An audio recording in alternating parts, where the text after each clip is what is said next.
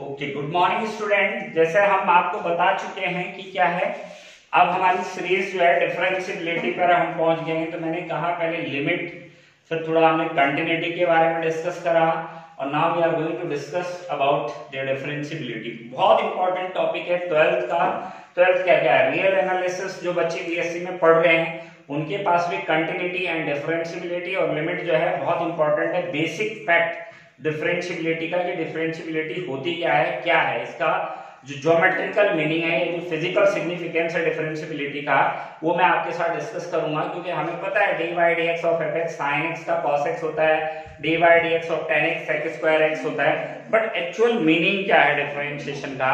तो उसको मैं लेके आया हूँ आपके साथ। तो आप समझिए इसको कैसे?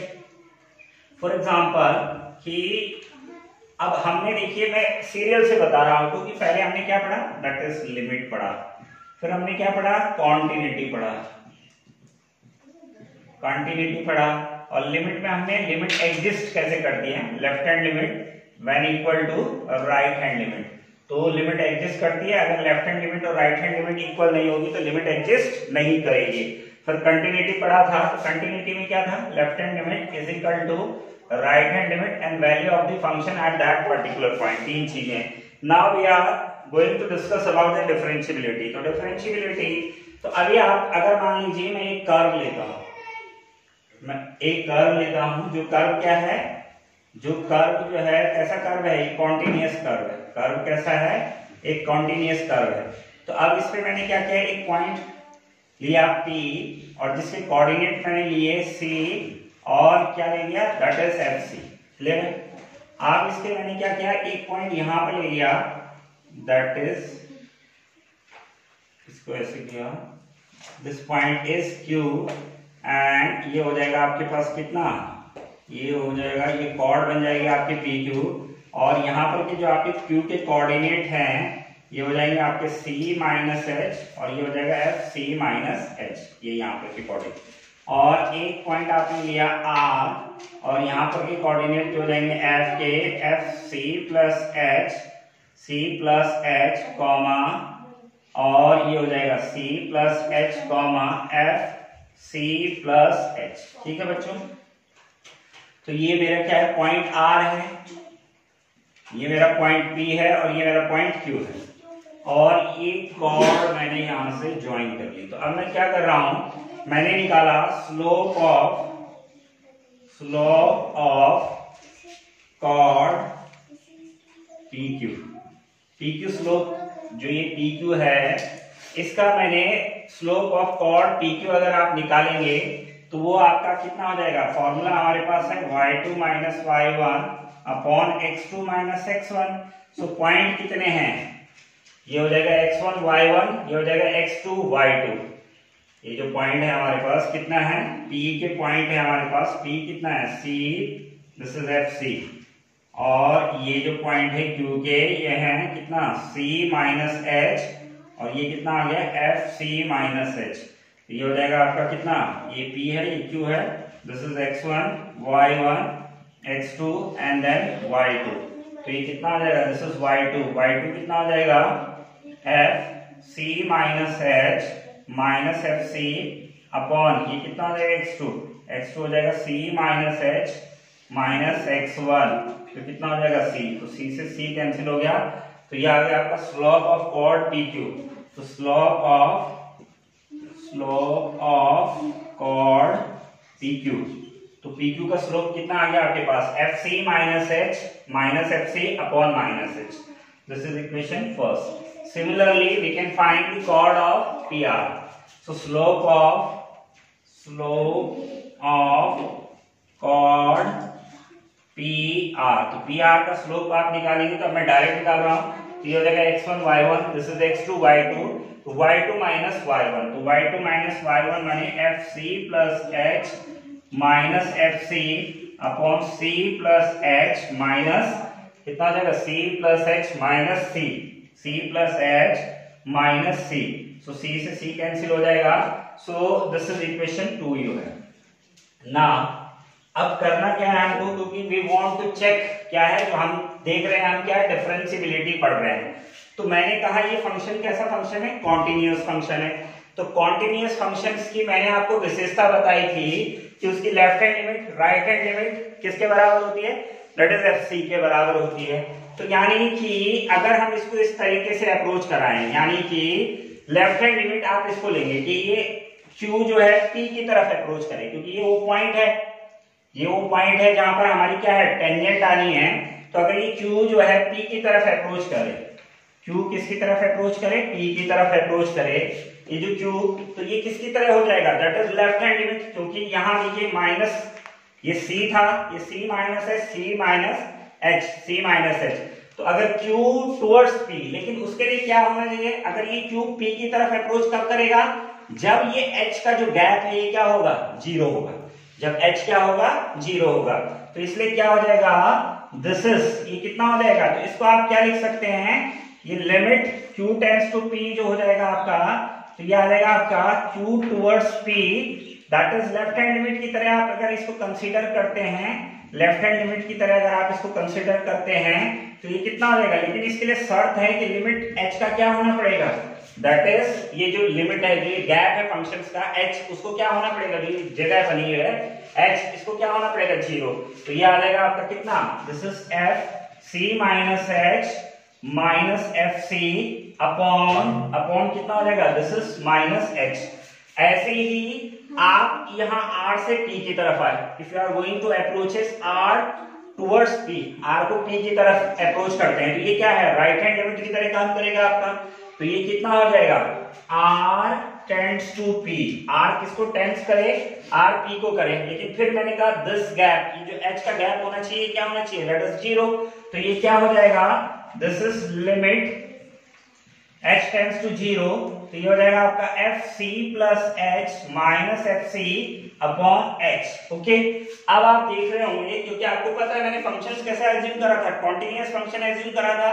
So we know that in case of the continuous function जो है, वो क्या होता है? ये जो दोनों लिमिट है, ये आपकी क्या हो जाएँगी? लेफ़्ट हैंड लिमिट और राइट हैंड अगर आप इसको, क्योंकि मुझे इसको क्या करना है, ये लेफ़्ट हैंड से यहाँ तक अप्रोच कर रहा है और राइट हैंड से यहाँ तक पॉइंट पी तक अप्रोच कर रहा है। तो अगर आप लिमिट का भी कंसेप्ट लगाते हैं, क्योंकि ये क्या है this is left hand limit this is right hand limit तो ये दोनों आपस में क्या हो जाएँगे? बराबर हो जाएँगे। तो उस केस में ये क्या हो जाएगा आपके पास कि limit limit h tends to zero f c minus h minus f c minus h is equal to limit h tends to zero this is f c plus h minus f c upon h clear अब क्या होगा जब ये Q P की तरफ़ आ गया are भी P की तरफ़ आ गया तो ये दोनों यहाँ पर जब हो जाएँगे तो ये क्या आ जाएगा? ये टेंजेंट आ जाएगा यहाँ पर आपका। क्या आ जाएगा? टेंजेंट आ जाएगा ये। पॉइंट पी पर एक टेंजेंट ड्रॉ हो जाएगा। और वो टेंजेंट जो है क्या है कि अगर ये टेंजेंट क्या होता है? इस पर्टिकुलर पी पॉइंट पर यूनिक टेंजेंट ड्रॉ होगा। क्या होगा? एक अकेला टेंजेंट ड्रॉ होगा तो इसका क्या मतलब हो जाएगा? वो कब होगा? जब ये और ये क्या हो जाए आपस में? बराबर हो जाए। क्योंकि इनकी लिमिटिंग वैल्यू जो है, बराबर हुई तभी तो वो पी पर पहुँचा वो पॉइंट जब ये क्यू पॉइंट और आर पॉइंट कहाँ पर पहुँचे? पी पर पहुँचे। अब आप पी पर क्या है? यूनिक टेंजेंट क्या हो सकती है? ड्रॉ हो सकती है। तो वो जो टेंजेंट ड्रॉ होगी तो इसका मतलब क्या हो गया? दिस इज़ व्हाट इसको हम क्या लेते हैं? Left hand derivative and this is we have right hand derivative तो एक यूनिक टेंजेंट क्या है? Unique tangent at point P पर आपने क्या कर दिया? ड्रॉ कर दिया। तो so इसका मतलब क्या हो गया? This function is f x is differentiable f x कैसा हो गया? डिफरेंशिएबल हो गया। अब आप एक चीज़ एफ़ एक्स जो है डिफरेंशिएबल हो गया। तो इसको क्या कहते हैं? इस तरीके से हम क्या करते हैं? इसीलिए जब हम फ़ंक्शन को चेक करते हैं कि वेदर फ़ंक्शन इज़ डिफरेंशिएबल और नॉट तो हम क्या करते हैं? उसका लेफ़्ट हैंड डेरिवेटिव चेक करते हैं और उसका क्या करते हैं? राइट हैंड डेरिवेटिव करते हैं। तो अब मैं डिफरेंशिएबिलिटी के बारे में आपको, क्योंकि इसी में मैं आपको एक, दो क्वेश्चन भी बताऊँगा, लेकिन आप इसको देखिए। आपको अब एक बार मैं दोबारा पूरा रिपीट कर देता हूँ। मैंने क्या लिया था? Point P c f c एक आर एक क्यू ये c minus h f c है। C plus h f c plus h इस कॉर्ड का स्लोप निकाला, इसका स्लोप निकाला। अब ये क्यू जो है पी की तरफ़ टूवर्ड्स करेगा तो बिहेव करेगा as a left hand limit और आर जो पी की तरफ़ बिहेव करेगा that is behaving like a right hand limit ये करा आपने।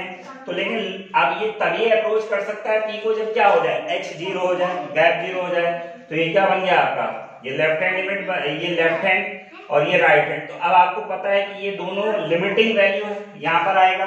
यूनिक टेंजेंट आपको ड्रॉ करना है तो ये कितना हो जाएगा? दोनों इक्वल रखे तो ये this is left hand derivative this is right hand derivative तो अगर unique tangent at point P पे ड्रॉ हो जाएगा तो एफएक्स क्या हो जाएगा? फ़ंक्शन क्या हो जाएगा? डिफरेंशिएबल हो जाएगा। तो अब इस पॉइंट में कुछ पॉइंट पे आपको जोड़ना चाह रहा तो अब तो क्या हो गया? यहाँ से हमने ये पता कर लिया कि जो फ़ंक्शन था is differentiable at x is equal to c वो जो पॉइंट हमने चेक करा था उस पर ये फ़ंक्शन क्या आ गया डिफरेंट अब मैं आपके सामने ये चार फ़ंक्शन रख रहा हूँ। तो आप देखेंगे, मैं इसलिए ये फ़ंक्शन आपके सामने रख रहा हूँ कि मैं एक आपको कंडीशन बता रहा हूँ कि आपको ध्यान रखना है कि मैंने कल बताया था कि कॉन्टिन्यूस फ़ंक्शन क्या होते हैं?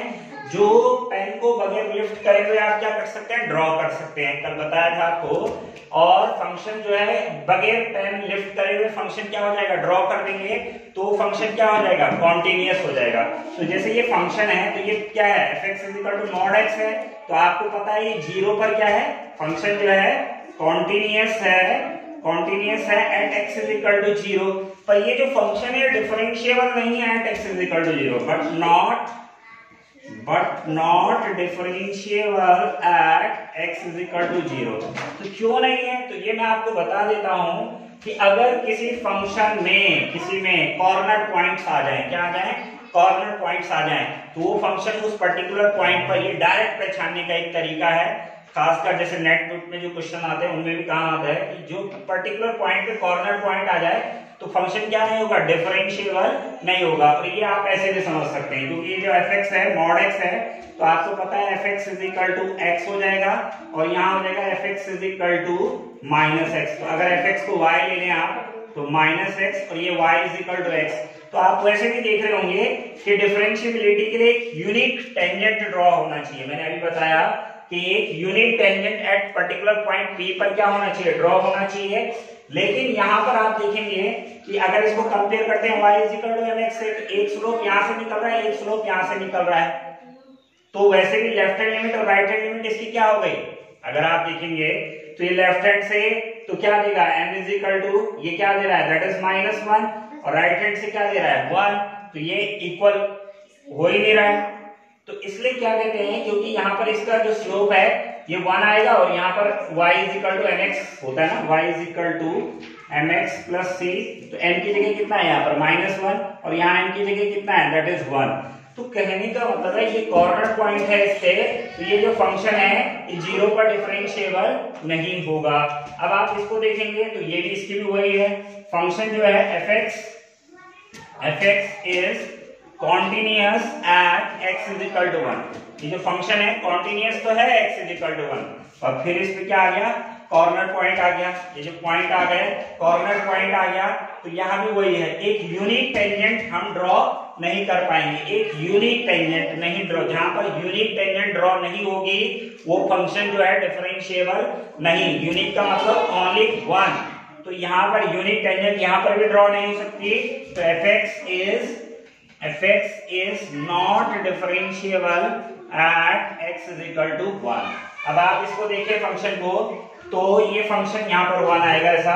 तो आप देखेंगे ये फ़ंक्शन ब्रेक है। ब्रेक है मतलब ये ऐसा जा रहा है, ये ऐसा जा रहा है, और ये यहाँ पर ऐसा जा रहा है। तो आपको पता है ब्रेक वाला फ़ंक्शन है तो कॉन्टिन्यूस ही नहीं है। तो जब ये कॉन्टिन्यूस नहीं है, और फिर यहाँ पर ये आ गए तो ये फ़ंक्शन क्या है? ना तो कॉन्टिन्यूस है और ना डिफरेंशिएबल है।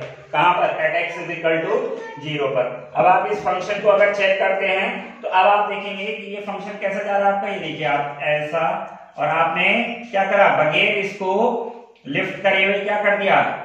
लिफ्ट करे हुए ड्रॉ तो कर दिया, लेकिन यहाँ पर इस पे क्या आ गया? एक कॉर्नर पॉइंट आ गया। एक क्या आ गया? कॉर्नर पॉइंट ये क्या है? कॉर्नर पॉइंट है। ये क्या है? कॉर्नर पॉइंट कॉर्नर पॉइंट तो जिस भी फ़ंक्शन पे आपको कॉर्नर पॉइंट मिल जाएँगे तो वो जो होगा डिफरेंशियबल नहीं। तो इसका कॉर्नर पॉइंट मिल गया, आपको यहाँ पर क्या मिल गया? कॉर्नर पॉइंट क्या मिल गया? कॉर्नर पॉइंट तो यानी कि at x is equal to one पर फ़ंक्शन क्या नहीं है डिफरेंशियबल नहीं है, जबकि कॉन्टिन्यूस ये है। तो आपको मैं इसमें एक कंडीशन और ऐड करवा देता हूँ।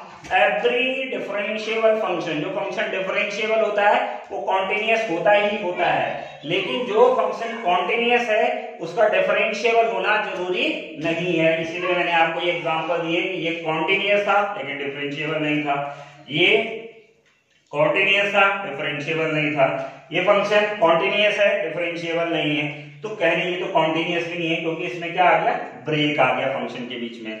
तो बहुत क्लियर है कि अगर कोई फ़ंक्शन डिफरेंशियबल है तो वो कॉन्टिन्यूस होता है। लेकिन अगर कोई फ़ंक्शन क्या है? कॉन्टिन्यूस है तो ज़रूरी नहीं है कि वो डिफरेंशियबल हो जाए। तो इसलिए मेरे को लगता है आप लोगों को काफ़ी क्लियर हुआ होगा डिफरेंशिएशन अब मैं नेक्स्ट जो लेके आ रहा हूँ डिफरेंशिएशन के क्वेश्चन आ रहा हूँ, इस पे left hand derivative right hand derivative के। तो आप इस पूरी सीरीज़ को देखिए, आपको काफ़ी अच्छे लगेंगे। लाइक करें चैनल को सब्सक्राइब करें और शेयर करें। थैंक यू धन्यवाद।